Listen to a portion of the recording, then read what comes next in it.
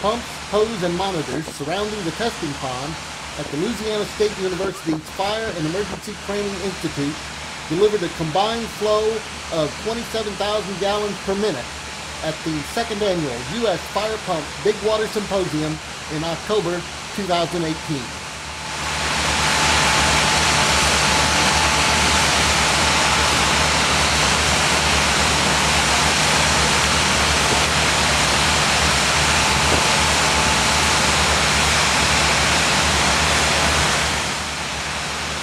USFP equipment utilized includes two mobile pump units, three hydraulic submersible units, an emergency response aquatic deployment system, a remote control track monitor, a deluge apparatus, and multiple monitor units.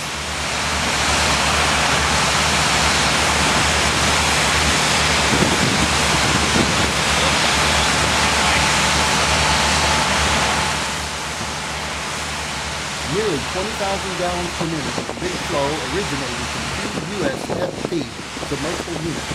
Each submersible unit has two 5,000 GPM floating pumps for a combined flow of 10,000 GPM each.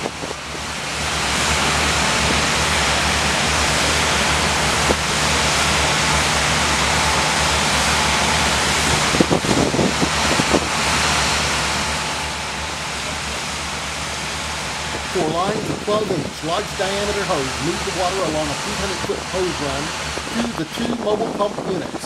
From there, the water moves down two 12 inch lines, one to the deluge apparatus and the other to the 8,000 GPM monitor tray.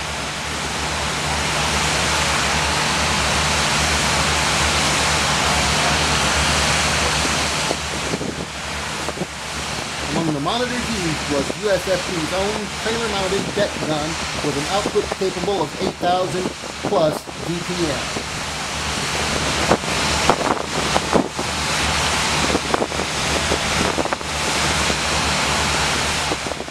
The neighboring 6,250 GPM mobile pump unit relayed its water to the 8,000 GPM monitor by way of the direct foam injection skid located midway between them. The skid has an engine-driven foam pump with a capacity of 12 GPM to 300 GPM and an application rate of 30,000 GPM at 1%, 10,000 GPM at 3%, and 5,000 GPM at 6% foam concentration.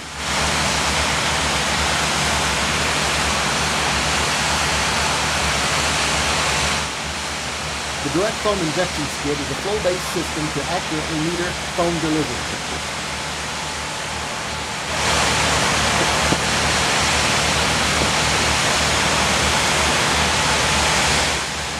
Hydraulic submersible units are capable of an output ranging from 3,000 GPM to 20,000 GPM that supply water to the mobile pump units or apparatus.